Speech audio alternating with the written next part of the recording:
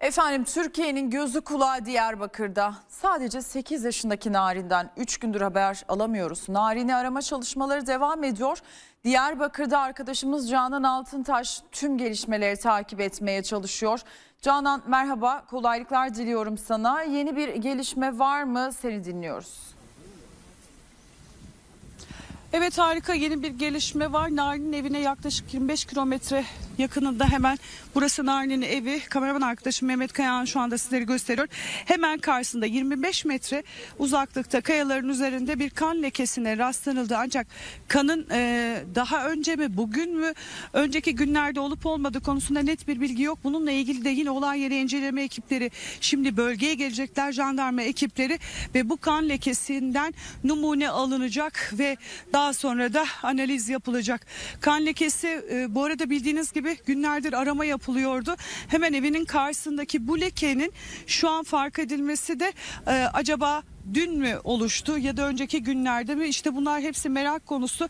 Tabii nihai kararı nihai neticeyi de yine jandarma olay yeri inceleme ekiplerinin e, buradan alınacak örnekleri analiz etmesinin ardından belirlenecek ama şu anda e, tekrar etmek gerekirse Diyarbakır'ın Tavşantepe mahallesinde 4 gün önce kayıp olan 8 yaşındaki Narin Güran'ı arama çalışmaları devam ediyor. Az önce de yine Diyarbakır Emniyet Müdürlüğü'ne bağlı bir helikopter kalktı. Helikopter helikopterde Diyarbakır Emniyet Müdürü Fatih Kaya ve AFAD İl Başkanı İlhami e, Atılgan bulunuyordu. Onlar da bölgede aramalarını devam ettirirken bu arada bu gelişme yaşandı.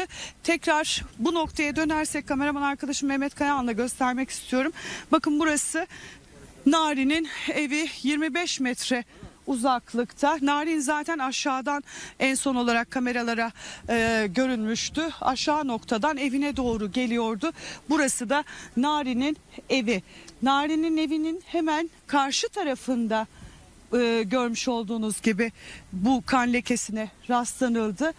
E, yaklaşık 25 metre mesafede işte hemen bu bölgede kameraman arkadaşım Mehmet Kayahan gösterirse kurumuş kan lekesi görünüyor.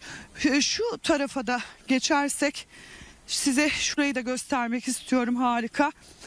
E, Narin son olarak işte bu patika üzerinden bu şekilde evine geliyordu. Şu anda vatandaşların geldiği nokta kalabalığın olduğu noktadan yukarı doğru evine doğru geliyordu. Ancak bu sırada e, kameradan gözden kaybolmuştu. Yine bu yol üzerindeki logarlara da bakılmıştı. Dün bu logarlardan da numune alındı. Bu logarlardan da numune alındı ve birçok detay araştırıldı. Şu anda olay yeri inceleme ekipleri gelecek ve burayı kapatıyorlar. Abi yayındayız. Şu anda olay yeri inceleme ekipleri bölgeyi kapatacaklar ve bir inceleme yapılacak. Kurumuş kan lekesinden numuneler alınacak ve bu numunelerden bu kanın acaba e, kime ait olduğu tabii ki belirlenecek. Ancak şu anda bu kanın e, ne kanı olduğu tam olarak belli değil. E, aramalar hemen evin yakınında e, böyle bir kana daha önce rastlanıp rastlanılmadığı konusunda da ekipler bilgi sahibi değiller ama buradan geçen Narin'in yakınları bu taş kayalıkların üzerindeki kanı fark ettiler ve Evet. durumu jandarma ekiplerine bildirdiler. Şu anda da olay yeri ekipleri, olay yeri inceleme ekipleri geliyor ve buradaki kandan örnekler alınacak. Evet. Diyelim sözü size merkeze Ee, bırakalım. Canan seni uğurlamayalım. Durum bu bir iki şekilde, sorum harika. olacak sana. Şimdi e, sürekli bölgede olduğun, oradaki çalışmaları takip ettiğin için mutlaka bir kanın vardır diye sormak istiyorum. E, o kadar eve yakın bir bölgede yani her tarafı kan taşın gördüğümüz gibi.